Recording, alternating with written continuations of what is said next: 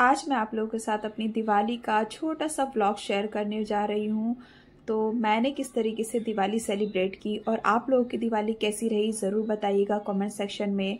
तो अभी है सुबह के 11 बजे का समय और आप देख सकते हैं कि घर की पूजा हो चुकी है।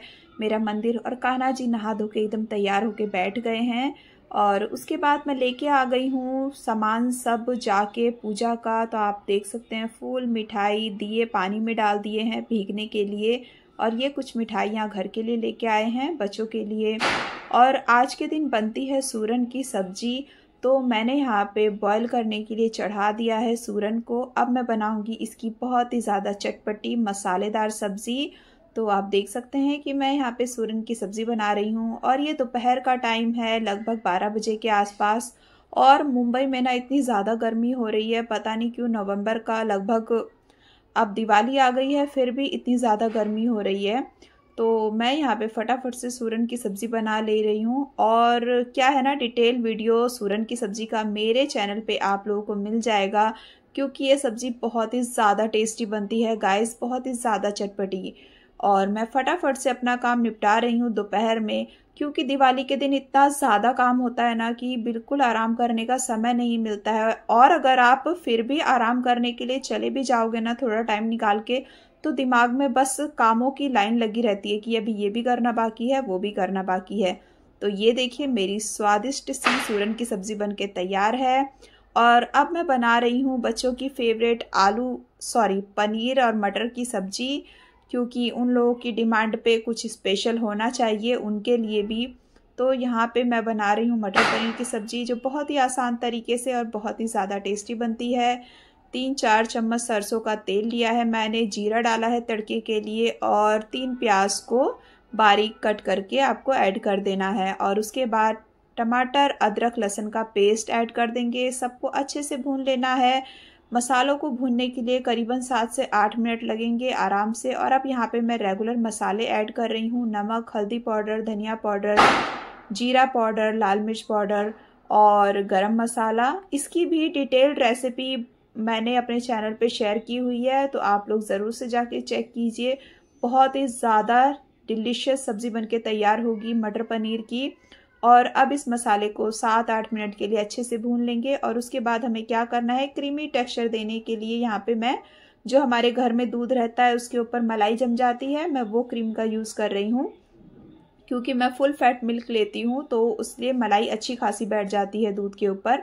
और मैंने फ्रेश क्रीम यहाँ पे ऐड कर दिया है। अब इसको ढक के वापस से छोड़ेंगे दो से तीन मिनट के लिए और आप देखेंगे कि मसाले का टेक्सचर कितना अच्छा आ गया है। ये देखिए, जब इस टेक्सचर में मसाला आ जाए ना, हमारा मसाला एकदम रेडी है। अब हम इसमें मटर ऐड करेंगे मिक्स करेंगे और उसके बाद पानी ऐड करेंगे। तो जैसी आपको ग्रेवी चाहिए, उस हिसाब से पानी ऐड कर दीजिए और पानी में बॉयल आते ही हमें पनीर ऐड कर देना है।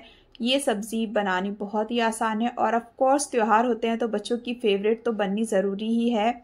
यहाँ पे मैंने पनीर ऐड कर दिया है और कुछ पनीर के पीसेस को ना हाथों से इस तरीके से क्रश करके डाल दीजिए तो ना ग्रेवी में बहुत ही ज़्यादा अच्छा टेस्ट आता है। ये देखिए, इस तरीके से। अब हमें यहाँ पे ऐड करना है एक चम्मच कसूरी मेथी और थोड़ा सा आधा चम्मच पनीर मसाला और अफकोर्स धनिया पत्ता। फ्रेश धनिया पत्ता ऐड कर देंगे ऊपर से और यह हमारी मटर पनीर की सब्ज़ी बहुत ही ज़्यादा टेस्टी बन के तैयार है। मैंने तो निपटा लिया है अपना डिनर का भी काम। अब क्या है ना, शाम को आराम से फिर हम पूजा और बाकी की तैयारियाँ कर सकेंगे। खाना बनाने का बिल्कुल भी मतलब टेंशन नहीं रह गई है अब शाम के लिए। और यहाँ पे आप लोग देख सकते हैं कि मैंने एक साइड में खीर भी बनने के लिए रख दिया है, क्योंकि खीर तो बनती ही है दिवाली के दिन, वो फिक्स है कि खीर तो बननी ही है। और उसके बाद मैं थोड़ा सा किचन का काम समेट लूँगी और मिलती हूँ आपसे बाद में। और उसके बाद मैंने सारे दिए को पानी में से निकाल के सूखने के लिए रख दिया। क्योंकि यहाँ पे गर्मी बहुत ज़्यादा है और आज ना धूप भी बहुत ज़्यादा तेज़ थी तो दिए हमारे फटाफट से सूख गए थे जल्दी ही। उसके बाद सभी दियों को मैंने हवा लगने के लिए रखा है और फिर मैं बैठ गई सभी दियों में तेल और बत्ती लगाने के लिए, क्योंकि ये भी काम अगर आप फ्री होके रख लेते हैं ना तो अच्छा रहता है। ये देखिए। और अब शाम का समय आ गया है और आप देख सकते हैं कि मेरी रंगोली बनके तैयार है। दिया, बत्ती, लाइटिंग हर जगह लग चुकी है। और ना बहुत सारी चीज़ें हुई जो कि मुझे शूट करने का बिल्कुल भी टाइम नहीं मिला। मैं नेक्स्ट टाइम ज़रूर कोशिश करूँगी कि अगर मैं व्लॉगिंग शेयर कर रही हूँ तो उसे डिटेल में और अच्छे से आप लोगों के साथ शेयर करूँ।